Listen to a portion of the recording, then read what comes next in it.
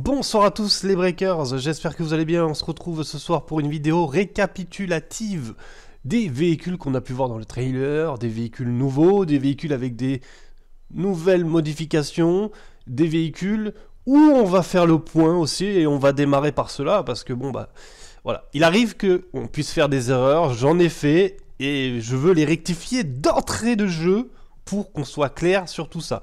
Alors déjà, Effectivement, j'ai confondu le Titan avec le cargo plane, l'avion cargo. Donc effectivement, c'est pas du tout la même taille. Hein. Donc voilà, ça c'est le Titan de base hein, que je vous disais dans le trailer, c'est le Titan qu'on doit euh, qu'on attaque. Non, c'est pas le Titan, c'est le cargo plane. Effectivement, euh, moi je savais que je parlais du cargo plane, mais je l'appelais le Titan. Je ne sais pas pourquoi. Voilà. En tout cas, le cargo plane, c'est celui-là. Hein, c'est le bleu et blanc. Donc ça, c'est l'avion qu'on va attaquer pendant une mission de ce nouveau DLC Agent of Sabotage. Et évidemment, bah, c'est pas du tout la même taille. Vous pouvez le constater. Donc, on va faire un petit tour euh, vite fait, hein, mais vous le connaissez, hein, cet avion. Hein. voilà, il est énorme. C'est un avion, évidemment, qu'on ne peut pas euh, acheter dans le jeu. C'est un, avion de euh, qu'on peut voir dans certaines missions et qu'on a déjà vu dans certaines missions, dans certains DLC. Donc voilà, c'est rien de nouveau. Mais voilà, c'était juste pour faire une petite rectif autour de ça parce qu'effectivement bah, je m'étais planté de nom sur l'avion. Et effectivement bah, le titan comme je l'appelais bah, le titan c'est celui en dessous hein, qui est vraiment à côté bah, tout petit. Voilà. Donc ça c'était le premier point parce que c'était important de faire un point dessus. Deuxième point c'est au niveau du scarab parce que effectivement euh, je pensais que c'était un nouveau scarab avec de nouvelles améliorations mais eh ben, vous pouvez le constater que non. Et je vais vous le prouver par A plus B. Et merci à Noah, le poteau, voilà, il se reconnaîtra, il m'a rectifié sur Twitter, il m'a montré un petit peu.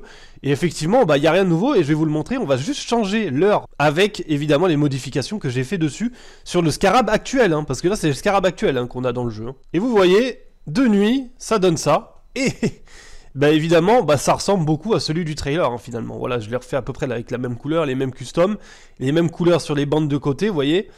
Et bah, il semblerait qu'il n'y ait rien de nouveau sur ce Scarab. Finalement, on a même les aérations à l'arrière. Donc le petit truc qu'on voit à l'arrière, la lumière, effectivement, est une caisse euh, coil, visiblement, comme l'a dit le poteau Noah. Je vous remettrai l'image en fond sur le côté. Et euh, effectivement, bah, c'est une caisse coil en fait la lumière à l'arrière. C'est pas une lumière bleue du véhicule euh, improprement dit, c'est euh, une caisse coil. voilà. Alors c'est un truc que je ne pouvais pas voir au moment où le, trailer est sorti, puisqu'il n'était pas sorti en 4K. Et donc pour voir en bonne définition certains détails, c'était compliqué. Et avec le 4K, effectivement, là on le voit bien que c'est une caisse coil. Voilà. Donc après, vous voyez bien les côtés latérales, hein, la bande là, en fait, on peut changer la couleur de cette bande. C'est les couleurs de finition et on peut changer la couleur des bandes et au niveau des amortisseurs aussi, avec les croix, vous voyez, blanches. Voilà. Donc, il euh, n'y a rien de neuf en fait. En tout cas, euh, sur ce qu'on peut voir dans le trailer, il n'y a rien de neuf. Après, est-ce qu'il y aura quelque chose de nouveau autour de ce euh, Scarab? Je sais pas. Ça, du coup, bah, je peux pas vous le dire. Mais voilà, vous voyez, à l'heure actuelle, voilà, c'est exactement le même Scarab qu'on a dans le trailer. Voilà, donc là aussi, petit point là-dessus parce que c'est important. Je suis pas là pour dire des conneries en sur YouTube. Il peut arriver que j'en dise, que je me trompe. Voilà, c'est des choses qui arrivent. Alors voilà, il y en a qui ne font pas de cadeaux, comme j'ai pu voir sur Twitter, Stop Dude par exemple. Voilà, c'est sympa, j'ai pu me tromper. Excusez-moi, ça arrive à tout le monde. Voilà, alors effectivement, ça fait des années que je suis sur GTA, mais euh, bah, il y a des fois, on se souvient pas de tout, ça arrive à tout le monde.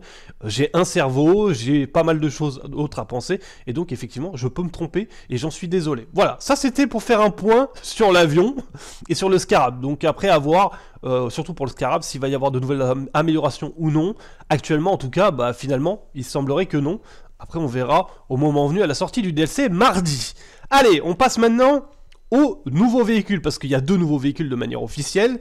C'est donc la Viper GTS, qui est donc celle-ci. Je vous l'avais déjà présentée en vidéo. Si vous voulez voir une vidéo détaillée sur ce véhicule, évidemment le lien est dans la description. Cette Viper GTS sera la nouvelle Banshee. On ne sait pas encore le nom exact, mais ce sera la nouvelle Banshee. Ensuite, dans le trailer, on a pu aussi voir une toute nouvelle Dinka qui sera donc et qui semblerait donc être cette Honda Accord de 2017, génération 2013-2017 pour être plus précis.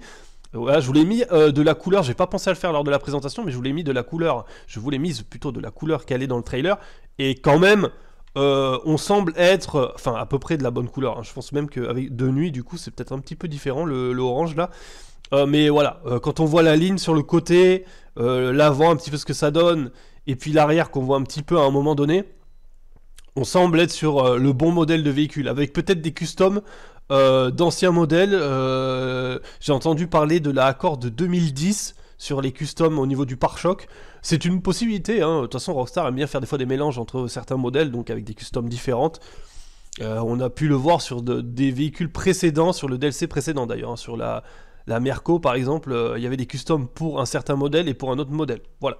Ensuite, eh ben, on a la Jester RR qui va bénéficier visiblement d'un body kit, d'un wild body, comme il l'appelle sur GTA Online.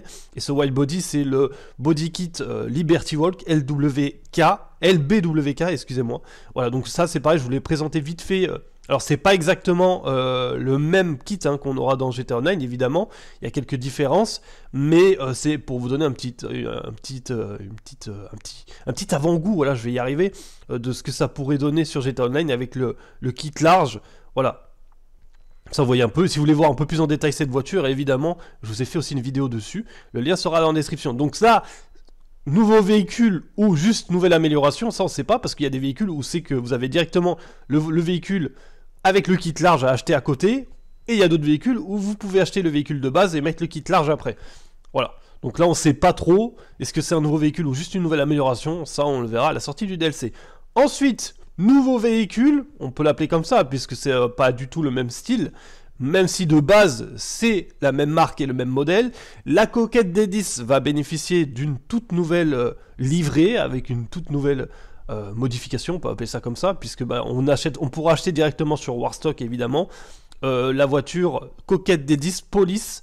Voilà, donc euh, ça aussi, je pense que là on est plus sur un nouveau véhicule, même si évidemment le modèle on le connaît déjà, puisque on a la version civile sur GTA Online, la coquette des 10. évidemment, de la version IRL, là que j'ai c'est la version IRL hein, de police. C'est une coquette, euh, c'est une Corvette C8, pardon. Et donc vous voyez, ça ressemble beaucoup à la Corvette, euh, à la coquette des 10 qu'on a sur GTA Online et qui est aussi euh, inspirée de la Corvette C8. Hein. Voilà, c'est très très ressemblant. Ça c'est pour bah, le, quatrième véhicule, voilà, nouveau véhicule qui aura. Ensuite, pour conclure, on a le bateau qui est nommé par Star Games comme un nouveau bateau. C'est le Police Predator, mais c'est le Police Predator qu'on connaît déjà sur GTA Online et qu'on connaît depuis des années sur GTA. On l'avait vu à l'époque sur GTA 3, ce Police Predator peut-être un petit peu différent, sur Vice City aussi, enfin c'est dans le même style. Ce qui est dommage, et peut-être qu'on pourra, on pourra voir, c'est que est-ce qu'on pourra y rajouter les mitrailleuses comme il y avait dans, ils avaient dans Vice City et GTA 3, je crois, les flics, euh, même dans San Andreas, il me semble, si je dis pas de bêtises. Ou pas du tout. Euh, le problème, c'est qu'on ne peut pas trop customiser les bateaux puisqu'on n'a pas de hangar à proprement dit, on n'a pas d'endroit pour entreposer nos bateaux. Voilà, on a un truc pour les avions par exemple, pour nos voitures, mais pas pour les bateaux. Donc voilà, donc ce bateau, on le connaît depuis 2013 finalement, on l'a aussi vu plusieurs fois euh, sur GTA Online dans des DLC. Euh, il y a une mission, c'est lors d'un braquage où on doit récupérer Avi Schwarzman sur une île de l'autre côté de la map et euh, évidemment, on, le sauve avec ce bateau.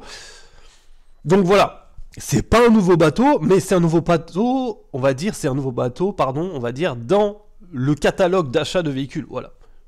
Voilà, donc c'est un véhicule qui sera probablement achetable aussi sur, sur Warstock. Voilà les breakers, on a fait le point sur les véhicules qu'on a pu voir lors de ce trailer et sur les images précédentes qui étaient arrivées le mois précédent. Voilà, donc euh, comme ça on a fait le point sur tout. J'espère que la vidéo vous aura plu. N'hésitez pas à dire ce que vous en pensez de tous ces véhicules en commentaire. Est-ce que vous pensez que bah, le Scarab va bénéficier d'une nouvelle custom? Est-ce que vous pensez que le bateau de police, on va pouvoir lui mettre les mitrailleuses à l'avant ou non peut-être? Ou pas du tout? Et puis voilà, j'attends vos avis euh, sur la nouvelle euh, Viper, sur la nouvelle Banshee, sur la nouvelle Dinka, sur la nouvelle Jester RR ou non avec une custom Wild Body. Et puis évidemment sur la coquette des 10 de police. J'attends tout ça en commentaire. Évidemment, le pouce de soutien est très important. N'hésitez pas à vous abonner en activant la cloche des notifications pour pas rater les prochaines vidéos autour du DLC, comme bah, le live dès la sortie du DLC mardi matin à 11h. Et puis évidemment, toutes les vidéos qui vont suivre ensuite.